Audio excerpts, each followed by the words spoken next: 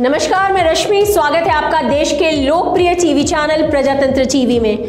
बड़नगर के इंगोरिया थाना क्षेत्र के ग्राम खरसोद खुर्द में ग्राम पंचायत के नल जल योजना के पीवीसी के 1000 फीट पाइप मंगलवार रात को चोरी हो गए थे। पुलिस ने गुरुवार को पूर्व सरपंच प्रीति पाटीदार के पिता सत्यनारायण पिता पूनम चंद के यहाँ से बरामद कर लिए।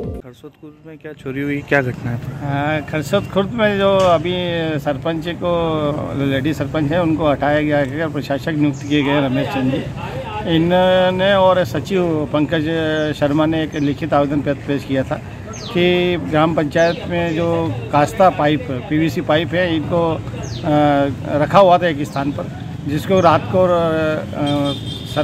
पूर्व सरपंच के पिताजी सत्यनारायण जी और उनका लड़का त्रिलोक बिना बताए उठाकर अपने खेत पर चोरी की नीयत से ले गए थे। ऐसा लिखित आवेदन पत्र प्राप्त होने पर हमने एस आई सब इंस्पेक्टर और को हमारे द्वारा भेजा गया था। जो कि पाया गया कि उसके खेत पर अ, ये पीवीसी पाइप जो शासकीय संपत्ति थे चोरी करके ले जाए गए थे। फिर जिन मजदूरों से जो वहाँ पास में सोए हुए थे आदिवासी समाज के बेचारे उनको उनसे भरवाए गए थे उनके पाए जाने पर ये पाइप जब्त किए गए हैं। सत्यनारायण को अभी गिरफ़्तार करके माननीय न्यायालय पेश किया गया है।